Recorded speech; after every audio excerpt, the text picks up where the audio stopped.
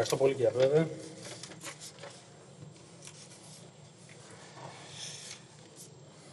Και σήμερα θα σας μιλήσω με στοιχεία, με ρεαλισμό και με ευθύνη. Μακριά από θεαμβολογίες, κινδυνολογίες και αυταπάτες που φαίνεται ότι συνεχίζουν να υπάρχουν στην αξιωματική αντιπολίτευση και να διαχέονται σε όλα τα στελέχη τους.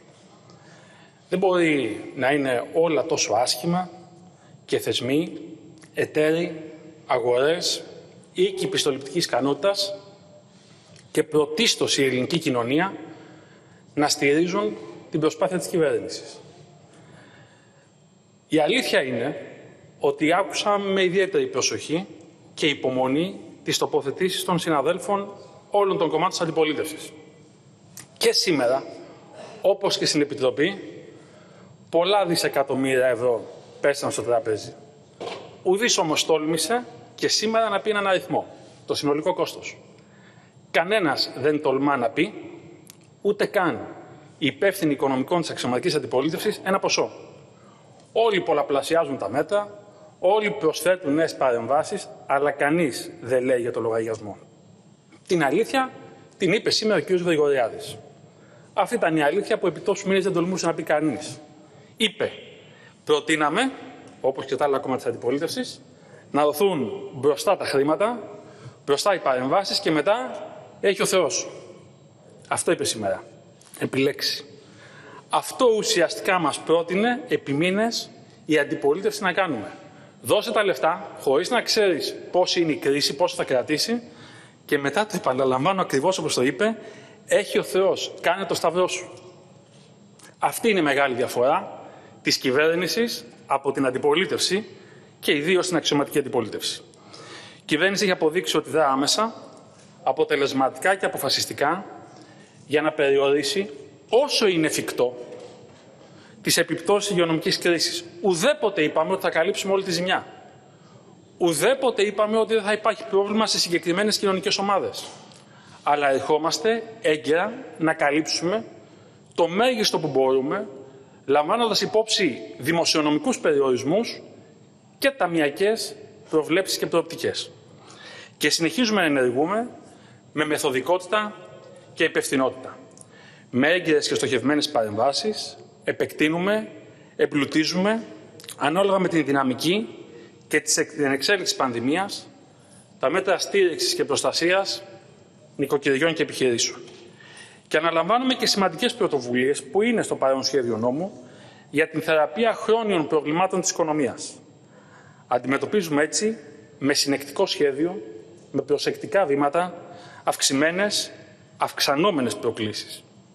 Αξιοποιούμε κάθε διαθέσιμο πόρο ώστε να δημιουργήσουμε τις προϋποθέσεις αρχικά για ταχύ ανάκαμψη και με νεταγενέστερα για βιώσιμη ανάπτυξη της ελληνικής οικονομίας. Πάνω σε αυτούς τους άξονες, πάνω σε αυτές τις προτεραιότητες, εδράζονται και οι διατάξεις του υποσυζήτηση σχεδίου νόμου, για το οποίο θα μιλήσω κατά βάση, απαντώντας όμως και στις συνάδελφους. Πρώτον, ρυθμίζονται θέματα διενέργειας γενικών απογραφών από την Ελληνική Στατιστική Αρχή. Από ό,τι φαίνεται αυτό το θέμα δεν ακουμπά καθόλου την αξιωματική αντιπολίτευση.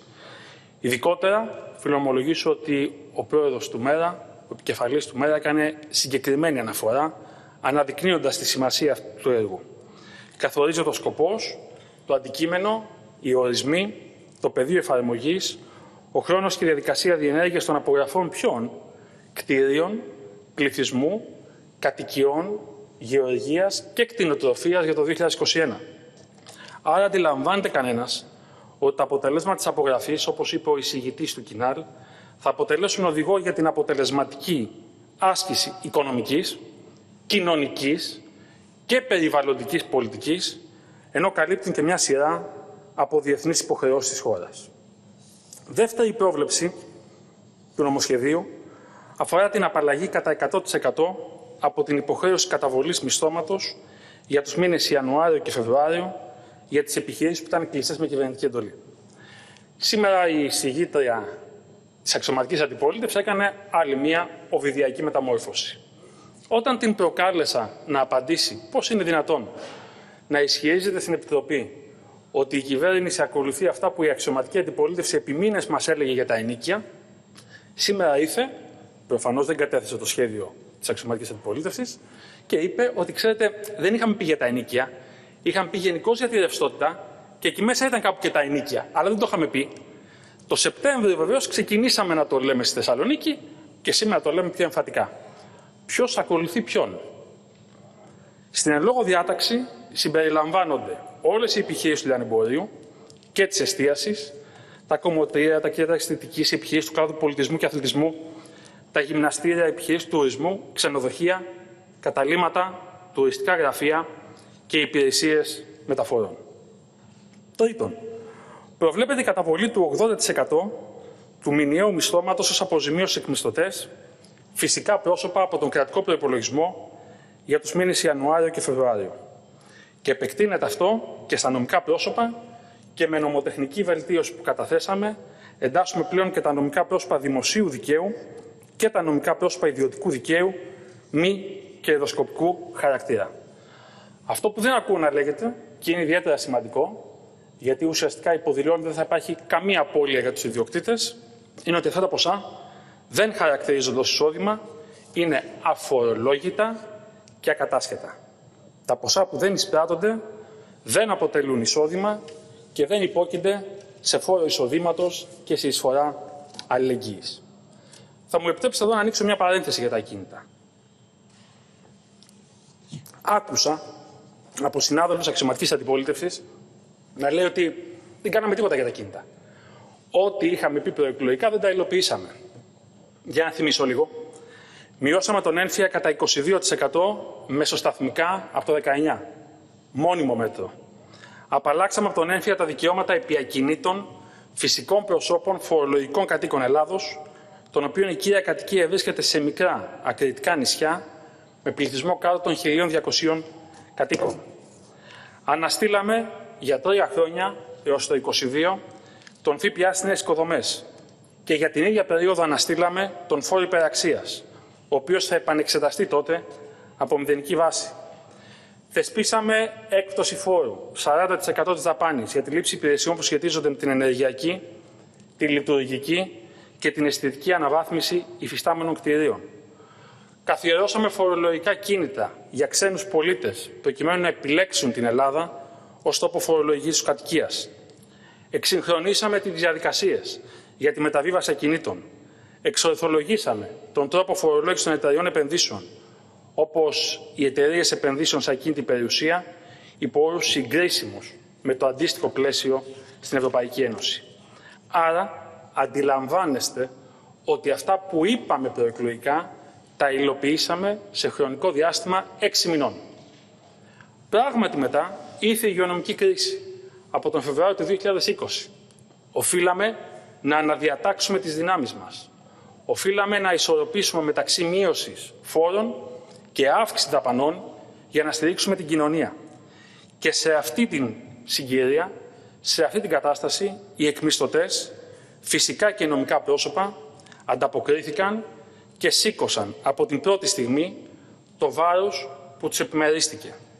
Η ελληνική κυβέρνηση και το Υπουργείο Οικονομικών, το είπα και στο συνέδριο της ΠΟΜΙΔΑ, ευχαριστεί τους ιδιοκτήτες εκμισθωτές για το αίσθημα κοινωνικής ευθύνης που έχουν επιδείξει. Και έρχεται η πολιτεία να ανταμείψει αυτή την προσπάθεια.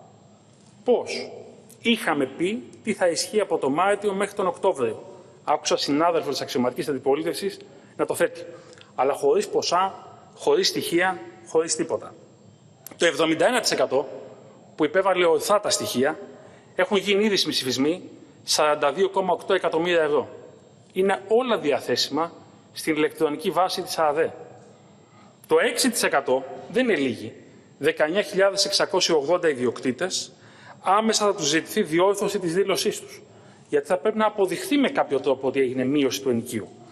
Και 79.306 άτομα για διάφορους λόγους δεν πληρούν τα κριτήρια, μέσα σε επόμενες ημέρες η ΑΔΕ θα στείλει συγκεκριμένα στοιχεία και έχουν δικαίωμα αιτιολογημένης προσβολής απόφασης και επανεξέτασης. Στη συνέχεια ήρθε ο Νοέμβριος και Δεκέμβριος. Εκεί τι είπαμε, καλύπτουμε το 50% αφορολόγητα της μείωσης κατά 40%. Αυτές οι μέρες καταβάλαμε σε 176.404 αφημί 19,3 εκατομμύρια για το μήνα Νοέμβριο. Και πάρα πολλοί ιδιοκτήτες, πάνω από 59.000 στην αρχή, τώρα έχουν πέσει στους 30.000, δεν είχαν δηλώσει IBAN. Προκειμένου να μπορέσει το κράτος να δώσει αυτό το οποίο έχουμε προβλέψει. Και τους καλώ και από αυτό το βήμα να δηλώσουν άμεσα το IBAN προκειμένου να πληρωθούν, να πιστωθούν οι λογαριασμοί τους. Και ερχόμαστε τώρα τον Ιανουάριο και τον Φεβρουάριο να αναλάβουμε άλλη μια πρωτοβουλία. Τέταρτον, χορηγούνται διευκολύνσεις σχετικά με την πληρωμή αξιογράφων, δηλαδή επιταγών, συναλλαγματικών και γραμματείων σε διαταγή. Ξέρετε, και το είπα, ότι με την νομοτεχνική επεκτείνονται τα χρονικά διαστήματα και αποκτά αναδρομικότητα ακόμα μεγαλύτερη και για αυτές τις μέρες η ρύθμιση μέχρι τη δημοσίευση του παρόντος. Από αυτό το πλέγμα των τεσσάρων πρωτοβουλειών που ανέπτυξα και ουσιαστικά ναι, επαναλαμβάνουμε μέτρα γιατί τα θεωρούμε εξαιρετικά επιτυχημένα, καθώς και πολλά άλλα, όπως είναι η επιστρεπτέα προκαταβολή, η αποζημίωση δικού σκοπού, η κάλυψη ασφαλιστικών εισφορών εργαζομένων, οι αναστολές υποχρεώσεων, η μείωση φορολογικών συντελεστών, η μείωση ασφαλιστικών εισφορών, η κατάρριξη της φοράς αλληλεγγύης, χτίζουμε ένα δίκτυο ασφαλείας για να στηρίξουμε νοικοκυριά και επιχειρήσεις. Θα το επαναλάβω. Χωρίς να ωρεοποιούμε μια πραγματικά δύσκολη κατάσταση από πρωτόγνωρες συνθήκες που έχει δημιουργήσει σε ολόκληρο τον πλανήτη η πανδημία διότι δεν άκουσα από κανέναν ομιλητή της αξιωματικής αντιπολίτευσης να κάνει καμία αναφορά στην Ευρώπη. Το τι γίνεται σε άλλες χώρες. Σαν να είναι η κρίση μόνο στην Ελλάδα. Ενώ έχουμε μέτρα συγκρίσιμα και στο υγειονομικό πεδίο, κάθε μέρα δημοσιοποιούνται, και στο οικονομικό πεδίο. Και, εν πάση περιπτώσει, στο τέλος θα δούμε το ύψος της ύφεσης ή άλλα ποσοτικά μεγέθη. Πανδημία που προκάλεσε σε ολόκληρο τον κόσμο βαθιά και απότομη ύφεση, η οποία επηρεάζει πράγματι τους δείκτες που αναδεικνύουν την δύσκολη κατάσταση νοικοκυριών και επιχειρήσεων. Ομολογούμε εμείς πρώτη τη δυσκολία της κατάστασης. Θα επαναλάβω ότι δεν καλύπτουμε σε κομμάτι της κοινωνίας όλες τις ζημιές. Αλλά να αποτυπώσουμε και την αλήθεια. Προφανώς όλα τα κόμματα της αντιπολίτευσης και η κυρίως αξιωματική αντιπολίτευση επικαλέστηκε μια μελέτη. Την μελέτη της ΓΕΣΕΒΕ. Είπαν να την καταθέσουν. Δεν την κατέθεσε κανένας. Θα την καταθέσω εγώ. Παρακαλώ. Η μελέτη της ΓΕΣΕΒΕ. Να δούμε λίγο κάποια στοιχεία της μελέτης της ΓΕΣΕΒΕ. Εντός εισαγωγικών, παρακαλώ. Εντός εισαγωγικών. Φαίνεται πως τελικά το ποσοστό ανεργίας για το 2020 θα είναι, εάν όχι ελαφρώ χαμηλότερο, τουλάχιστον αντίστοιχο με το 19. Είναι προφανές ότι τα μέτρα της κυβέρνησης που έχουν ληφθεί για τη διατήρηση των θέσεων εργασίας έχουν πετύχει τον στόχο συγκράτησης απασχόλησης. Την ίδια μελέτη διαβάζουμε. Αυτό το προσπεράσατε; Τα στοιχεία που είπατε επιβεβαιώνουν αυτό που αναγνωρίζει πρώτα απ' όλα η κυβέρνηση και η κοινοβουλευτική πλειοψηφία. Τη δυσκολία της κατάστασης. Αλλά λέει η μελέτη της ΓΕΣΕΒΕ, γιατί δεν τα διαβάζετε όλα ή αποσιωπάτε την αλήθεια, αυτό το στοιχείο. Και να ήταν μόνο αυτό. Πιο κάτω αποτροπή μαζικών λουκέτων. Λέει η ΓΕΣΕΒΕ, εντός εισαγωγικών. Τα μέτρα που έχει λάβει η κυβέρνηση για τη στήριξη των επιχειρήσεων έχουν ανακόψει προς το παρόν τα μαζικά λουκέτα που προκαλούνται κατά τη διάρκεια έντονων οικονομικών κρίσεων. Θέλετε κι άλλα; Το πρόγραμμα Γέφυρα έχει βοηθήσει στη μείωση των οικοκυριών που αδυνατούν να εξυπηρετήσουν τα στεγαστικά τους δάνεια, περιορίζοντας τον αριθμό των οικοκυριών που έχουν καθυστερημένες οφειλές. Αυτά τα λέει η ίδια η μελέτη της ΓΕΣΕΒΕ. Έρχομαι συνεπώς και σας λέω. Και θα το πω και θα το επαναλάβω. Η κατάσταση είναι δύσκολη. Σε κομμάτι της ελληνικής κοινωνίας. Αυτό το κομμάτι προσπαθούμε να το βοηθήσουμε. Το καλύπτουμε όσο μπορούμε. Επιβεβαιώνεται. Αλλά από την άλλη πλευρά δεν θα καλύψουμε και όλες τις ανάγκες οι οποίες δημιουργούνται. Για λόγους που υποθέτω ότι αντιλαμβάνεστε με βάση τα δημοσιονομικά και τα μιακά πλαίσια που έχουμε. Πέμπτον, ρυθμίζεται ο χρόνος με την ευκαιρία να πούμε λίγο και για την εστίαση. Επειδή προκλήθηκα. Σεβόμαστε τις αγωνίες και τα προβλήματα του κλάδου της εστίασης. Κλάδος που πράγματι έχει πληγεί σημαντικά. Κλάδος που παραμένει για μεγάλο χρονικό διάστημα κλειστός. Κλάδος που έχει σηκώσει πολύ μεγάλο βάρος. Αποδεδειγμένα όμως, το κράτος βρίσκεται κοντά σε αυτόν τον κλάδο με διάλογο και με πράξεις. Από το σύνολο των επιχειρήσεων στην εστίαση, το 83,7% 64.212 επιχειρήσεις έχουν λάβει ενίσχυση από τις επιστρεπτές προκαταβολές που έχουν δοθεί μέχρι σήμερα. 815 εκατομμύρια ευρώ στην εστίαση μέχρι σήμερα και 1,1 δισεκατομμύρια ευρώ από τις αναστολές συμβάσεων εργασίας. Πόσο κάνει αυτό; 1,93. Το μισό του δηλωμένου τζίρου του 2019.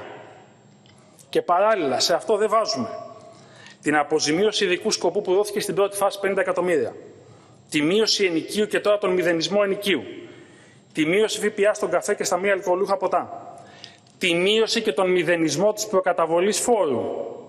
Δύο δις ήταν αυτό για όλη την οικονομία. Τις αναστολές φορολογικών υποχρεώσεων. Αυτή συνεπώς είναι η αλήθεια. Θα συνεχίσουμε συνεπώς να είμαστε κοντά και στην εστίαση και σε άλλους κλάδους οικονομίας οι οποίοι πλήττονται και παραμένουν κλειστοί με σεβασμό στον αγώνα τους. Και θα δείτε το επόμενο χρονικό διάστημα πώς θα ξετυλίγονται οι πρωτοβουλίες για το σύνολο της ελληνικής οικονομίας. Πέμπτον, ρυθμίζεται ο χρόνος ανάκτησης, ο χρόνος κτήσης εισοδήματος από αγροτικές ενισχύσεις και επιδοτήσεις και η απαλλαγή τους από την ειδική εισφορά αλληλεγγύης για το έτος 2020. Έκτον, ρυθμίζεται η υποβολή δήλωσης μεταβολών για μετάταξη από το ειδικό καθεστώς αγροτών στο κανονικό καθεστώς. Και πάμε τώρα στο έβδομο σημείο στην Αιτζίαν. Γιατί εδώ και αν άκουσα περίεργα πράγματα. Άκουσα καταρχήν από ένα κόμμα την ελληνική λύση να λέει δεν συμφωνώ με αυτή τη λύση, αφήστε την. Αφήστε την, μην δώσετε τίποτα. Αφήστε να καταρρεύσει. Χορηγείται οικονομική ενίσχυση με τη μορφή άμεσης επιχορήγησης στην Αιτζίαν για την αποκατάσταση της άμεσας συναρτώμενης με την πανδημία ζημίας που αυτή υπέστη. Το ποσό της ενίσχυσης πράγματι είναι 120 εκατομμύρια ευρώ. Το ποσό αυτό έχει λάβει την έγκριση της Ευρωπαϊκής Επιτροπής σύμφωνα με την Ευρωπαϊκή Νομοθεσία για τις κρατικές ενισχύσεις και έχει θεωρηθεί αναλογικό. Γιατί κρίνει η κυβέρνηση ότι είναι αναγκαία αυτή η διάταξη, διότι η εταιρεία που αποτελεί τον βασικό αερομεταφορέα στη χώρα μας, όπως και συνολικά ο κλάδος των αερομεταφορών, υπέστη εξαιτίας των περιοριστικών μέτρων πολύ σημαντική απώλεια εσόδων λόγω της τεράστιας μείωσης της επιβατικής κίνησης. Με στοιχεία. 13 Πρώτου του 2021. Επίσημη ανακοίνωση της Υπηρεσίας Πολιτικής Αεροπορίας. Η συνολική αεροπορική επιβατική κίνηση ήταν 19,7 εκατομμύρια επιβάτες το 20, πτώση 69%. Τα στοιχεία αυτής της μείωσης από της πανδημίας και των συνεπακόλουθων μέτρων περιορισμού και στην Ελλάδα και στο εξωτερικό δείχνουν ότι η χώρα μας επέστρεψε σε επίπεδο διακίνησης επιβατών σε αυτό που ήταν πριν από 30 χρόνια, στο μακρινό 1991. Τότε είχαν διακινηθεί 19,6 εκατομμύρια επιβάτες στα αεροδρόμια της Ελλάδος. Η βάση της απόφασης για την ενίσχυση Aegean είναι ότι όταν λειτουργεί σε κανονικότητα, εκτός πανδημίας, συμβάλλει σημαντικά στα δημόσια έσοδα και ευρύτερα στην οικονομία της χώρας. Συγκεκριμένα το 2019 η Aegean απέδωσε 390 εκατομμύρια ευρώ σε φόρους, εισφορές και τέλη υποδομών της χώρας.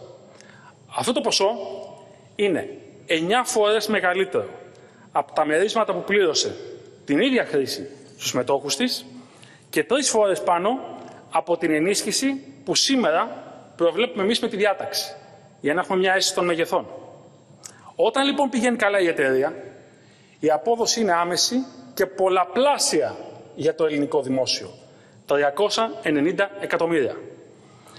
Σημειώνεται τώρα. Δεύτερος προβληματισμός. Είναι πολλά, είναι λίγα; Το είπα και στην Επιτροπή. η πλειονότητα των ευρωπαϊκών χωρών είτε έχει ήδη προβεί σε σχετικές ρυθμίσεις παροχής κρατικής ενίσχυσης ή εξετάζει σχετικές ρυθμίσεις. Ο όμιλος TAP Air στην Πορτογαλία ενισχύθηκε με 1,2 δισεκατομμύρια ευρώ από το πορτογαλικό κράτος, το οποίο είναι από αρκετές απόψεις συγκρίσιμο νομίζω με το δικό μας κράτος. Άκουσα έναν συνάδελφο να λέει, ναι, αλλά εκεί κρατικοποιήθηκε η εταιρεία και διασώθηκαν οι θέσεις απασχόλησης. Έγινε 75% κρατική, ήταν 50% και έχει υποβάλει επίσημο αίτημα η εταιρεία υποκρατικό έλεγχο πλέον στην Ευρωπαϊκή Επιτροπή για 35% μείωση προσωπικού. Αυτό για αυτούς που θέλουν τέτοιες λύσεις και λένε για το τι γίνεται στο εξωτερικό. Ο όμιλος Λουφτχάνσα 11 δισεκατομμύρια ευρώ. Θα επανέλθω στη Λουφτχάνσα γιατί είχα συγκεκριμένο ερώτημα. Γιατί δεν κάνετε τη Λουφτχάνσα. Εκ των οποίων 9 δις από το γερμανικό δημόσιο, 0,3 από το βελγικό, 0,45 από το αυστριακό, 1,4 δις από το ελβετικό.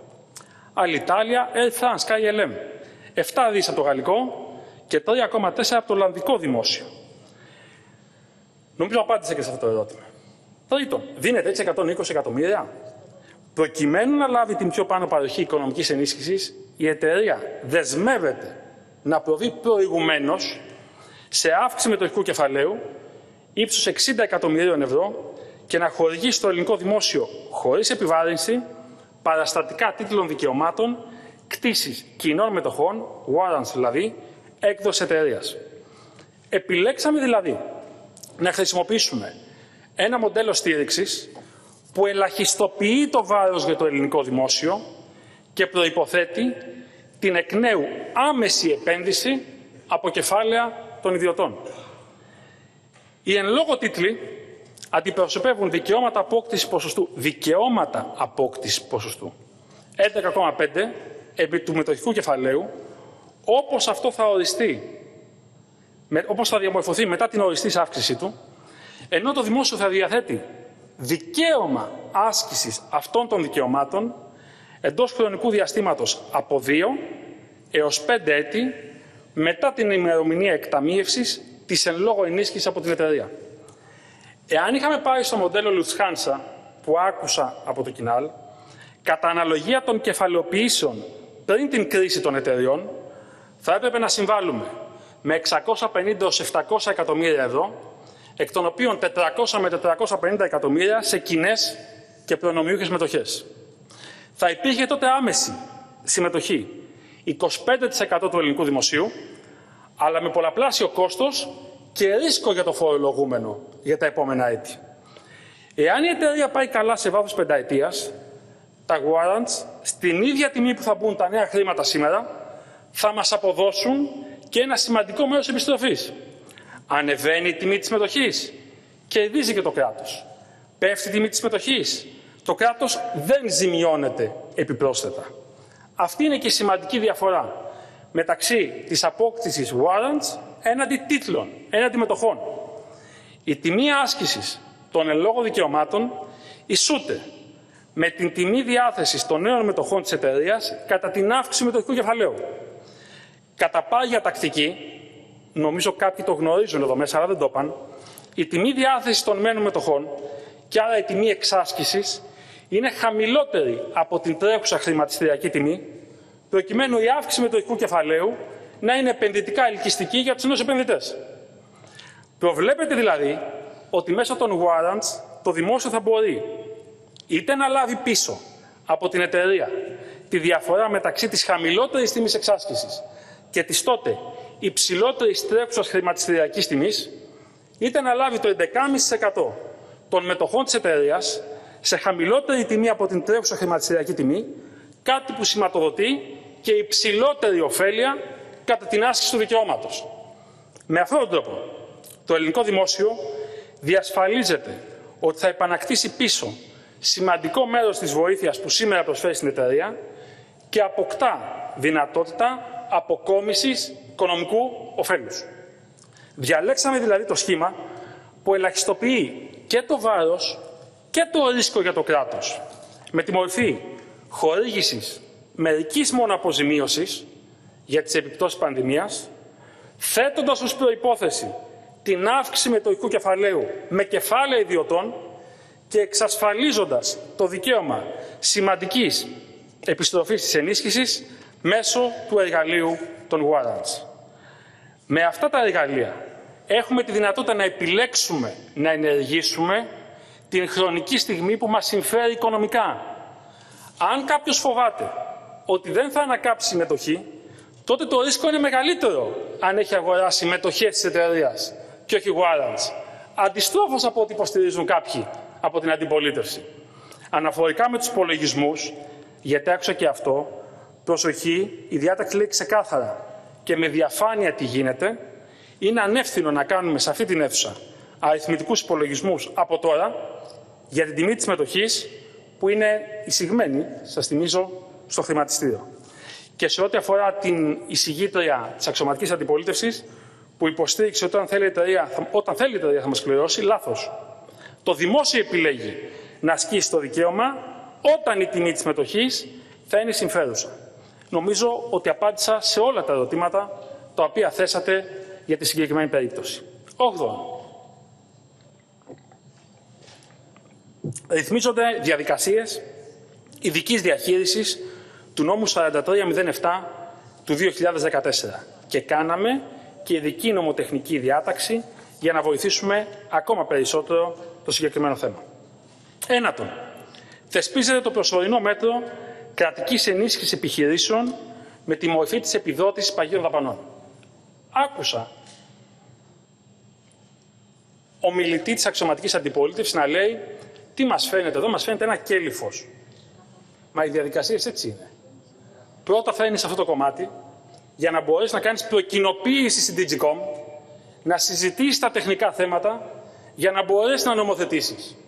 Αυτή είναι η διαδικασία. Πώς θα πηγαίναμε με προκοινοποίηση, αν δεν είχαμε τη διάταξη. Με αυτόν τον τρόπο, στόχος είναι η στήριξη και η προστασία των επιχειρήσεων που πλήττονται από τις επιπτώσεις της υγειονομικής κρίσης και των προληπτικών μέτρων. Συμμετείχαμε και συμμετέχουμε ενεργά με προτάσεις και στοχευμένες παρεμβάσεις στις διαδικασίες διαμόρφωσης και τροποποίησης του προσωρινού πλαισίου της Ευρωπαϊκής Ένωσης για τις κρατικές ενισχύσεις. Μέσω της διαβούλευσης με τους Ευρωπαίους εταίρους επιτεύχθη τα δομικά στοιχεία, οι παράμετροι και οι περιορισμοί του προσωρινού πλαισίου να προσαρμόζονται στις νέες ανάγκες και τις ειδικές συνθήκες που έχουν δημιουργηθεί στην ελληνική κοινωνία και οικονομία λόγω της πανδημίας. Στο πλαίσιο αυτής της ενωσιακής διαδικασίας ολοκληρώθηκε μόλις προχθές, την προηγούμενη Πέμπτη, η σχετική διαβούλευση και η Ευρωπαϊκή Επιτροπή ενέκρινε την πέμπτη τροποποίηση του προσωρινού πλαισίου. Θα μου επιτρέψετε να πω τα βασικά σημεία γιατί πρέπει να είμαστε όλοι σύμφωνοι σε αυτήν την αίθουσα για το τι αποφασίζεται σε ευρωπαϊκό επίπεδο. Αυτές οι αλλαγές ανταποκρίνονται στις θέσεις της ελληνικής κυβέρνησης. Ενισχύουν την ευελιξία που παρέχει το προσωρινό πλαίσιο. Αυξάνουν τα όρια κρατικής ενίσχυσης. Επεκτείνουν τους χρονικούς ορίζοντες αυτών των ενισχύσεων. Πολλοί από εσάς μου διατυπώνατε, ε, ε, μου, μου διατυπώνατε επιφυλάξεις και προβληματισμούς το προηγούμενο χρονικό διάστημα γιατί γνωρίζετε και στις εκλογικές σας περιφέρειες επιχειρήσεις που φτάσαν την οροφή, το ταβάνι των ενισχύσεων. Εδώ τι έχουμε τώρα, παράταση της εφαρμογής του προσωρινού πλαισίου ως το τέλος του 2021. Πολύ σημαντικό, τελείωνε τον Ιούνιο του 2021.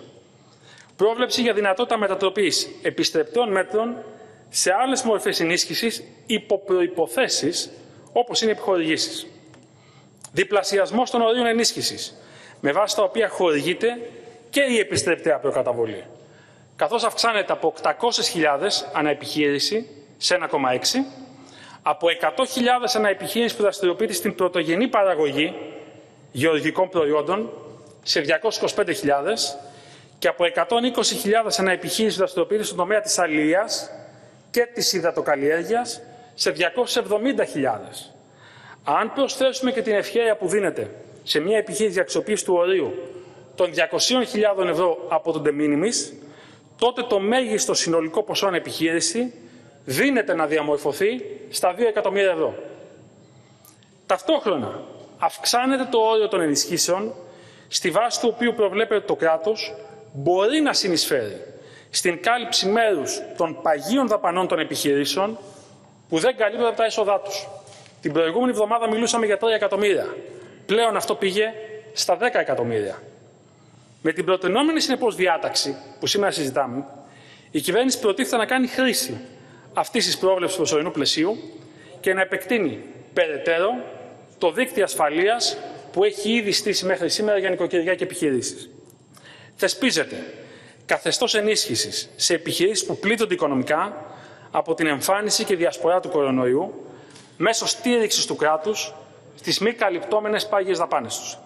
Δικαιούχοι θα είναι κυρίως, αλλά όχι μόνο, επιχειρήσεις που ανήκουν στους άμεσα πληττόμενους κλάδους της οικονομίας, παρουσιάζουν μείωση τζίρου κατά τουλάχιστον 30% το 2020 σε σχέση με το 2019, όπως τουλάχιστον μέχρι σήμερα καταγράφεται σε όλα τα ευρωπαϊκά κείμενα, ανοίγω μια παρένθεση, η επιστρεπτέα προκαταβολή είχε 20% μείωση τζίρου και 270.000 επιχειρήσεις δήλωσαν αύξηση τζίρου το τελευταίο τετράμινο του 20 σε σχέση με το 2019. Κλείνω την παρένθεση, τα στοιχεία των ίδιων των επιχειρήσεων αυτά καταγράφουν σημαντική ζημιά κατά το προηγούμενο έτος, λαμβάνοντας υπόψη και τη στήριξη που έχουν λάβει και απασχολούν εργαζόμενους. Παράλληλα, αξιοποιώντας την ευχέρεια που δίνεται και από άλλα καθεστώτα ενίσχυσης, εξετάζεται η δυνατότητα πιο στοχευμένων συνδυασμών των παραπάνω παραμέτρων, ώστε, συγκρατήστε το, η περίμετρος της ενίσχυσης να περιλαμβάνει και περιπτώσεις επιχειρήσεων με ιδιαιτερότητες ως προς την αποτύπωση του προβλήματος στον κύκλο εργασιών τους ή στα αποτελέσματα χρήσεως. Την επόμενη εβδομάδα θα κάνουμε διαβούλευση με τους φορείς για να ακούσουμε τις προτάσεις τους επί αυτών. Η υλοποίηση του μέτρου θα πραγματοποιηθεί μέσω της ηλεκτρονικής πλατφόρμας My Business Support της ΑΔΕ. Και προφανώς για αυτό το λόγο χρειάζεται η εισήγηση της ΑΔΕ. Η απόφαση όμως είναι κοινή απόφαση των Υπουργών Οικονομικών, Εργασίας και Κοινωνικών Υποθέσεων. Αλλά η πλατφόρμα η οποία πολύ γρήγορα μπορεί να εκταμιεύσει και με ασφάλεια πόρους στην πραγματική οικονομία είναι η πλατφόρμα της ΑΔΕ. Και επειδή άκουσα κάτι περί μαναβικής από τον πρόεδρο του ΜΕΡΑ25 για την ΑΔΕ, να θυμίσω ότι η ΑΔΕ θεσπίστηκε με το καθεστώς που είναι σήμερα με τον νόμο 4389 του 2016. Όχι από την παρούσα κυβέρνηση, από την προηγούμενη. Προγραμματίζεται εντός Φεβρουαρίου να έχει ολοκληρωθεί το σχετικό θεσμικό πλαίσιο σε συνεργασία με την Ευρωπαϊκή Επιτροπή, άρα σας δίνω και ένα χρονοδιάγραμμα, ώστε στη συνέχεια οι επιχειρήσεις να κληθούν να καταχωρήσουν τα σχετικά δεδομένα και τις απαραίτητες πληροφορίες για τον υπολογισμό του ποσού των παγίων δαπανών όπως αυτές θα προσδιοριστούν από το Υπουργείο Οικονομικών. Το ανώτατο όριο της ενίσχυσης και οι άλλες ενισχύσεις που έχουν λάβει η επιχείρηση θα συνυπολογίζονται, αλλά δεν θα συσσωρεύονται. Έτσι δίνεται η δυνατότητα σε επιχειρήσεις που είχαν φτάσει στα όρια που έχουν τεθεί από το προσωρινό πλαίσιο να λάβουν ενίσχυση στο πλαίσιο της πανδημίας πέραν αυτών. Και στο τελευταίο ερώτημα που ετέθη, η συγκεκριμένη ενίσχυση θα είναι στοχευμένη ως προς την αξιοποίηση και θα επιδιωχθεί να μην είναι επιστρεπτέα. Στην παρούσα φάση έχουμε τεχνικές συζητήσεις με την Ευρωπαϊκή Επιτροπή, θα οριστικοποιήσουμε τις παραμέτρους στο επόμενο διάστημα, προκοινοποιήσαμε το καθεστώς και πολύ σύντομα νομίζω θα είμαστε έτοιμοι να υλοποιήσουμε. Ολοκληρώνω σε τρία λεπτά, κύριε Πρόεδρε. Συγγνώμη. Δέκατον, Ηρακλή. Δεν από πολλά λόγια, το είπε ο εισηγητής, παραχωρούνται ακίνητα στο Σωματείο ο Νέος Γυμναστικός Σύλλογος Θεσσαλονίκης Ηρακλής 1908 προκειμένου να ασκήσει αθλητικά και κοινωνικά δρόμενα στην περιοχή. Επιδιώκεται η άμεση εξυπηρέτηση αθλητικών αναγκών των μελών του Σωματείου και εκπλήρωση αθλητικών σκοπών κατά τον προορισμό της χρήσης των ακινήτων. Ενδέκατον, επιταχύνονται οι διαδικασίες προκειμένου να ξεκινήσουν τα έργα που θα χρηματοδοτηθούν από το Ταμείο Ανάκαμψης και Ανθεκτικότητας της Ευρωπαϊκής Ένωσης διάταξη του παρόντος σχεδίου νόμου προβλέπει ότι μέχρι την έγκριση του Εθνικού Σχεδίου Ανάκαμψης και Ανθεκτικότητας είναι δυνατή η ένταξη έργων τα οποία προγραμματίζεται να χρηματοδοτηθούν από το Ταμείο στο εθνικό σκέλος του προγράμματος δημοσίων επενδύσεων. Και τέλος, το δέκατο. Επιλύεται το χρονίζον πρόβλημα των αμφισβητήσεων μεταξύ δημοσίου και ιδιωτών σχετικά με το ιδιοκτησιακό καθεστώς ακινήτων χιλιάδων στρεμάτων, τα οποία βρίσκονται εντός των διοικητικών ορίων των Δήμων Λαβρεωτικής και Σαρονικού και διεκδικούνται από το δημόσιο ως πρώην δασικά, ενταγμένα εντός σχεδίου πόλης, με την υποβολή ενστάσεων ενώπιον του κτηματολογίου. Παράλληλα, κατόπιν αιτήματος των τοπικών φορέων και συναδέλφων της, κυβερνο... της κοινοβουλευτικής πλειοψηφίας, το ανέφερε ο κ. Βλάχος, αποφασίστηκε να δοθεί παράταση στην εξέταση των ενστάσεων του Δημοσίου επί ακινήτων που εμπίπτουν στα διοικητικά όρια των Δήμων Λαβρεωτικής και Σαρονικού, που δεν καλύπτονται από το ρυθμιστικό πεδίο αυτής διάταξης, προκειμένου να εξεταστεί το ζήτημα των διεκδικήσεων και σε επιπλέον περιοχές, με τη συνεργασία και των φορέων που προβάλλουν δικαιώματα σε αυτές, προκειμένου να αντιμετωπιστεί ολιστικά το ζήτημα. Γι' αυτό και συστήνεται Επιτροπή με τη συμμετοχή και εκπροσώπων του Δήμου Λαβρεωτικής και Σαρονικού. Θα μου επιτρέψετε να σας πω όμως, γιατί με ευκολία άκουσα και στη συζήτηση που είχαμε με τους δημάρχους και εδώ στην αίθουσα από κάποιους λίγους ομιλητές, ότι αυτό το θέμα εύκολα λύνεται, μία πρόταση να μπει και έχει λυθεί. Απορώ, 40 χρόνια το θέμα γιατί δεν λύθηκε; 40 χρόνια γιατί κανένας δεν έβαλε αυτή την πολύ εύκολη πρόταση; Προφανώς το θέμα έχει πολλές διαστάσεις. Εμείς και εγώ προσωπικά δεσμεύομαι για το εξής. Κάναμε ένα πρώτο ουσιαστικό βήμα. Στη μία περιοχή τα στοιχεία λένε ότι βοηθάμε πάνω από 7.000 οικογένειες. Θα κάνουμε και άλλα βήματα. Με δίκαιο τρόπο. Αλλά θα πω μία λέξη. Με ασφάλεια. Θα νομοθετούμε όταν αισθανόμαστε ασφαλείς. Τα θέματα αυτά ήταν εύκολα, θα τα είχαν λύσει και πολλές άλλες κυβερνήσεις στο παρελθόν. Και όμως δεν τα λύσαν, τα κρύψαν κάτω από το χαλί. Πάμε να τα αντιμετωπίσουμε με σοβαρότητα, με κοινωνική ευαισθησία, αλλά και με ασφάλεια. Κυρίες και κύριοι, κλείνοντας, αποδεικνύεται έμπρακτα ότι η κυβέρνηση για ακόμα μια φορά επέδειξε εγρήγορση και αποφασιστικότητα στην αντιμετώπιση των προκλήσεων που γεννά η ενεξελίξη πανδημία του κορονοϊού. Με σχέδιο, με δράσεις συνεκτικές και στοχευμένες, προσαρμόζουμε και εμπλουτίζουμε τις πολιτικές μας, διασφαλίζοντας την μεγαλύτερη δυνατή στήριξη κοινωνίας και οικονομίας.